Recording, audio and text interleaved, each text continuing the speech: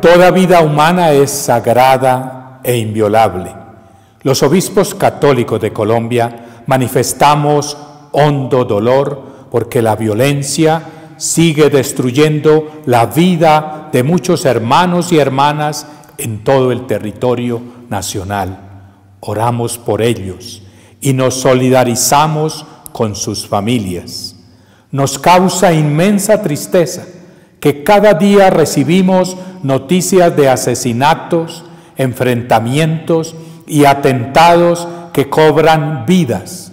Asistimos con consternación a formas cada vez más atroces y degradantes de muerte. Como nos lo dijo el Papa Francisco en su visita de 2017, la muerte se convierte en herramienta para proteger negocios ilícitos y para imponer por fuerza intereses o ideas particulares.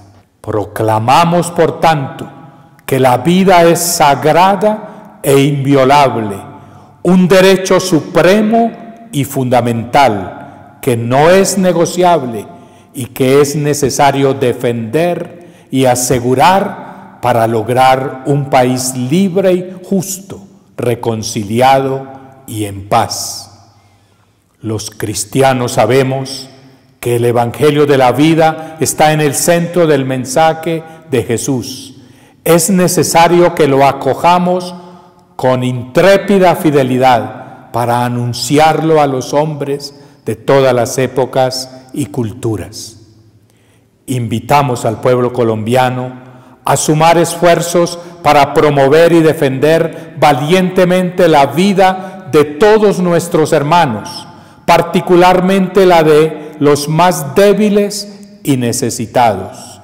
Cerremos filas contra la cultura de la muerte para ser un pueblo que sirve a la vida. Apoyamos y nos unimos a las movilizaciones ciudadanas que tendrán lugar este viernes 26 de julio en diversas ciudades del país para manifestar rechazo al asesinato de tantos líderes sociales que venían trabajando por el bien de sus comunidades y para unirnos en una sola convicción que la vida es sagrada, que juntos tenemos que construir un país reconciliado y en paz.